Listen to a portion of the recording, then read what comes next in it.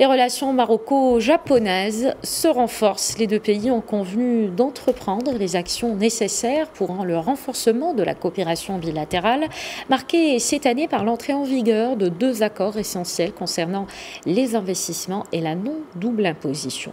On en parle ce soir dans l'émission Questions d'actu, présentée euh, ce soir donc par Khadija Ihsan, suivant cet extrait.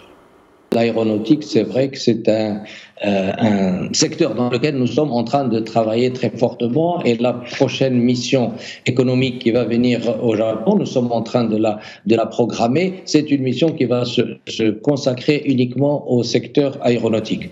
Euh, il faut rappeler aussi qu'un secteur qui se développe et qui est un secteur de pointe, qui est celui des médicaments, des produits pharmaceutiques. Il y a déjà Toyota Tsusho qui travaille là-dedans avec une euh, entreprise marocaines et qui produisent des médicaments euh, au Maroc. Il y a également l'agriculture, on l'a un petit peu oublié tout à l'heure, c'est vrai qu'on a cité un peu l'irrigation, etc., mais je voulais vous dire que nous sommes dans la phase finale de euh, négociation de l'entrée euh, des produits agricoles marocains sur le marché japonais et, Inch'Allah, les agrumes très prochainement, c'est quelque chose qui est sur le point d'aboutir et nous y avons travaillé très fortement avec euh, nos, nos amis japonais. Et ça aussi, c'est une ouverture importante que nous puissions euh, bientôt exporter nos agrumes sur le marché euh, japonais. Tout à fait. Les défis, évidemment, ils sont là. Il y a le défi, le défi climatique, c'est le défi qui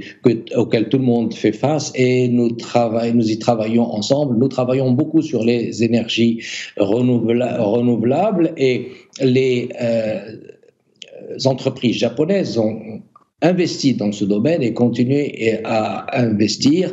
Euh, évidemment, nous ne pouvons pas parler de certains projets aujourd'hui qui sont très avancés, mais nous devons garder la confidentialité pour l'instant là-dessus. Mais je peux vous rassurer que les choses se développent à grande vitesse et sont très, très prometteuses.